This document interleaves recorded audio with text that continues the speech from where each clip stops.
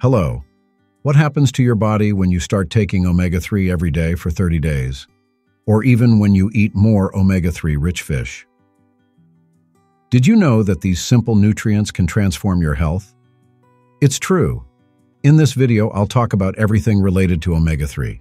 If you have a fatty liver, can omega-3 make it worse or better? When is the best time to take omega-3 to ensure you get the most positive effects on your health?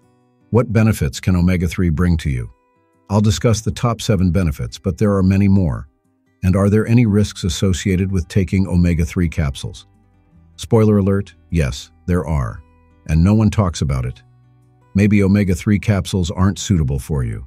Watch until the end before you rush out to buy them at the pharmacy. And if you still decide to buy them, how can you tell if the quality of the omega-3 is good? How many capsules should you take daily? And what's better, eating sardines or taking fish oil capsules? You might be surprised. Are you curious? But before we dive into the details about omega-3, don't forget to like the video, subscribe to the channel so you don't miss our health tips, and activate the notification bell to stay updated with new content. And of course, share this video with your friends and family. Sharing health information is always worthwhile because we all deserve to live our best lives. Now tell me, do you take omega-3 capsules or have you ever taken them?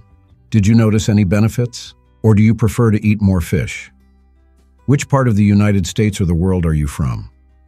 Write in the comments below and help others learn more about dietary health. Let's go. Let me ask you a question. Do you think you're getting enough omega-3 in your diet? Omega-3 is an essential fatty acid, meaning it's crucial for our bodies, but our bodies can't produce it on their own. It must come from the diet. There are three main types of omega-3, EPA, DHA, and ALA. Omega-3 can come from both animal and plant sources. Plant-based sources like flaxseed, chia seeds, walnuts, pumpkin seeds, as well as spinach and Brussels sprouts, are rich in alpha-linolenic acid, ALA, and omega-3 fatty acid. If you eat eggs, especially those with redder yolks, or deep-sea fish like tuna, mackerel, salmon, sardines, anchovies, trout, and cod, they are rich in the other two types of omega-3, EPA and DHA. Yes, alpha-linolenic acid can be converted into EPA and DHA, but it depends on the individual. Some people are efficient at this conversion, but most are not. The most reliable way to get EPA and DHA is to consume them directly, rather than relying on your body to convert ALA. So I ask again, are you getting enough omega-3? I hope so, because about 70% of the global population doesn't consume enough. Worse yet, there's an imbalance in the current diet between omega-6 and omega-3. In the past, beef was rich in omega-3, as were chicken, pork, and fish. These animals didn't eat a lot of feed or grains. They grazed on pastures. Today, if you buy fish, even salmon, most contain very little omega-3 because they get it from their feed. Chicken eggs contain more alpha-linolenic acid than EPA and DHA, except for those fertilized or from free-range chickens. So in the past, there was a balance. The diet had a one-to-one -one ratio, one part omega-6 to one part omega-3. Now this ratio has increased significantly. It's 4 to 1, 7 to 1, 10 to 1, 20 to 1. Omega-6 is found in vegetable oils, soy, corn, sunflower, and is considered pro-inflammatory. It increases inflammation in the body. Meanwhile, omega-3 is anti-inflammatory. To give you an idea of how much soy has been processed to feed animals and produce vegetable oils, it started with 5 million tons of oil in the 1960s to 300 million tons by 2020. That's a huge increase. Of course, animals need to be fed. But those animals that used to be a source of omega-3 are now rich in omega-6 due to the feed in soy. If you have a lot of inflammation, suffer from joint pain, chronic fatigue, stiffness, swelling, skin changes, digestive problems. Sometimes the issue is the high consumption of omega-6 in the current diet, which worsens inflammation, and the low intake of omega-3, which is anti-inflammatory. Therefore, we need to get back to a one-to-one -one balance, as close as possible, specifically for the benefits of omega-3. So, what are the seven benefits of omega-3 for your body? Seventh benefit. Omega-3 can benefit your eyes in three ways. the most important being that omega-3 fatty acids help reduce the risk of macular degeneration, which is one of the leading causes of blindness in adults. A study showed that people with the highest levels of omega-3 in their diet were 30% less likely to develop macular degeneration. Isn't that interesting? But it doesn't stop there because omega-3 can also help reduce the risk of elevated eye pressure, which can lead to glaucoma. And if you have very dry eyes, know that omega-3 can also help prevent and treat dry eye syndrome, where your eyes don't produce enough tears, leading to annoying symptoms like itching, burning, and redness in the eyes. A study showed that among 32,000 women participants, those who consumed more omega-3 had a 17% lower risk of suffering from dry eyes. I started with the eyes, but now let's move on to the brain. Sixth benefit. Omega-3 can help your brain improve memory and mood. An increase in omega-6 in the diet has been accompanied by a similar increase in depression. For those of you who have or don't have anxiety and depression yet, I've already made a video about foods that reduce these conditions, and of course I talked about the importance of omega-3. I'll leave the link in the comments for you to watch after you finish this video. The brain is rich in fat. About 60% of the brain is fat, and it has a lot of DHA. It's one of the most important fats in the brain, helping nerve cells function better, increasing signal transmission, protecting against oxidation, and also aiding neuroplasticity, which helps you learn new things as you age. Therefore, it can improve memory and mood. Many people, when they were young, were given fortified foods by their parents. They contain omega-3. It will improve your brain, but it might not be very tasty. At home, even though my mother was a neurologist, we never had to take any of that. We ate fish. So, omega-3 can increase the IQ of children, whose mothers followed a diet rich in omega-3. I remember reading this study when my wife was pregnant, but it can also prevent cognitive decline. It improves symptoms of anxiety, depression, and other psychological problems because it can reduce brain inflammation and also protects against brain degeneration, slowing down neuron loss. It can improve attention deficit. Fifth benefit, omega-3 can help improve triglyceride levels.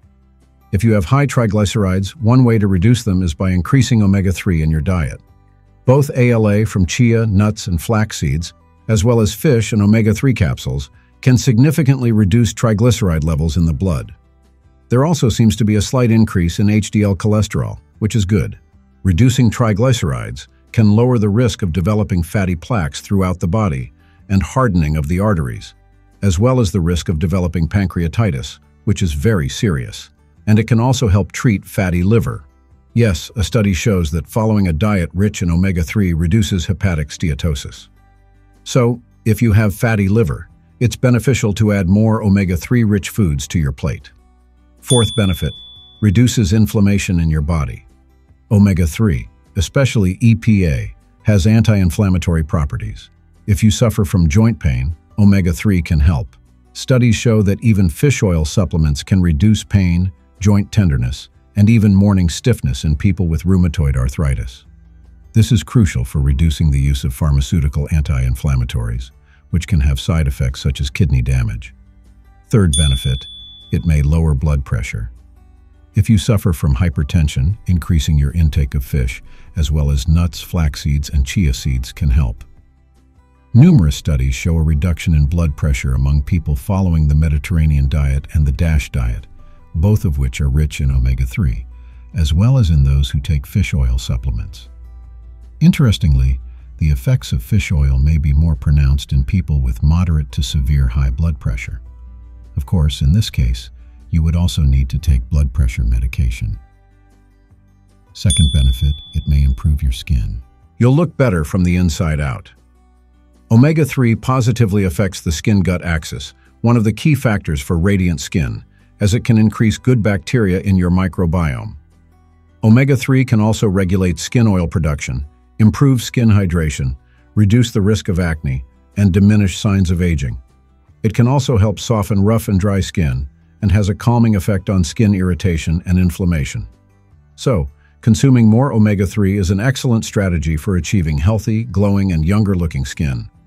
First benefit, it may reduce the risk of heart disease, lowering blood pressure, improving triglycerides, boosting HDL, and reducing inflammation all contribute to a lower risk of heart disease. However, there's a catch. While research shows that people who get more omega-3 from their diet, by eating fish at least twice a week, have a lower risk of dying from heart disease, taking fish oil supplements seems to offer little or no benefit for heart health. There is one exception, though. Highly concentrated omega-3s, which are not yet sold in some countries, such as Vascepa and Amarin, contain high doses of EPA and have been shown in studies to reduce the relative risk of cardiovascular events by 25%. But here in the US, they require a prescription, so you can't just buy them over the counter. So let me ask you, is it better to eat sardines or take omega-3 capsules?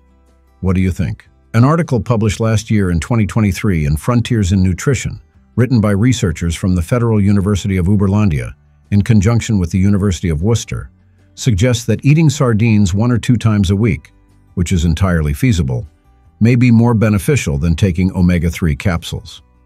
Sardines are considered a functional food that, in addition to omega-3, contain other elements that protect the heart, such as calcium, potassium, magnesium, zinc, iron, taurine, and arginine, all of which can improve both cardiac function and hemodynamics. As Hippocrates, the Greek physician and father of Western medicine, said, Let food be thy medicine, and medicine be thy food. I repeat that here. The best way to consume omega-3 is through diet and nutrition, sardines, anchovies, even omega-3 enriched eggs. And what about the risks of supplementing omega-3 outside of your diet? There are risks. One major risk that no one talks about is the increased risk of arrhythmia, which may seem benign but isn't. Atrial fibrillation is the most common arrhythmia in older adults and the most common cause of stroke and dementia. Studies show that omega-3 supplementation can increase your risk of atrial fibrillation by 24 to 31 percent. The European Medicines Agency is going to issue a warning about this harmful effect, explaining that if you have atrial fibrillation while taking omega-3, you should stop immediately. Additionally, omega-3 can interact with anticoagulants and antiplatelet drugs, including aspirin, as well as with herbs and supplements. It can interfere with birth control pills, beware of the potential for an unplanned pregnancy, and can cause bad breath, fishy burps, heartburn, nausea, diarrhea, and skin irritation. Well, after all I've shared, do you still think the best solution is to buy omega-3? How can you tell if your omega-3 is of good quality? First, look at the color of the bottle. Ideally, it should be a dark bottle that doesn't let light in. Avoid transparent bottles because fish oil is highly susceptible to oxidative damage caused by light. The more opaque, the better. The second thing to check is the expiration date. The further away the expiration date, the better. As I mentioned before, oxygen, time, and light can spoil your omega-3, turning it rancid, which, instead of having an anti-inflammatory effect, can actually be pro-inflammatory, causing inflammation instead of reducing it. And how many omega-3 capsules should you take? You should read the label. Check the amounts of DHA and EPA. Add them together.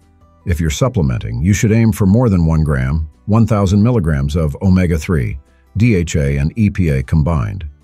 Usually, two capsules contain 400 milligrams of EPA and 1,000 milligrams of DHA.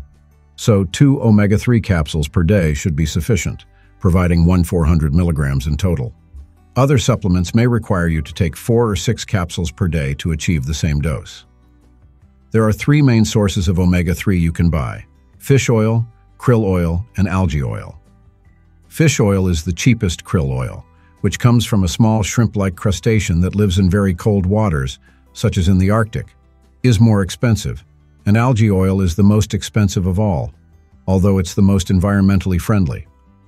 I hope it becomes cheaper in the future, and it's suitable for vegans. And when is the best time to take omega-3? The best time to take the capsules is with meals, as they are better absorbed with the fats in the food and it also helps reduce digestive side effects like reflux and fishy aftertaste. Choose either breakfast or lunch to avoid reflux, which could interfere with your sleep at night. Oh, and another tip.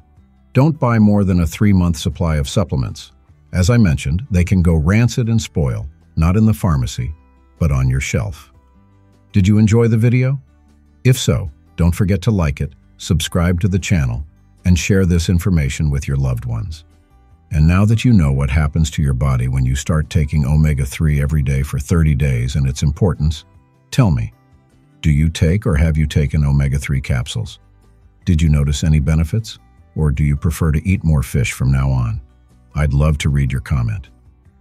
And always remember to consult a healthcare professional for personalized advice, especially if you have pre-existing medical conditions. What video are you going to watch next? I'll share three relevant recommendations for you. My video on the 10 proven benefits of eating chia seeds every day. My video on eggs. Are eggs good or bad for your health? And my playlist on the best foods to fight fatty liver disease and much more. Thank you so much for watching until the end. May God bless us with health and life. Let's work together to promote everyone's well-being. Remember to subscribe to the channel and like the video. See you in the next one.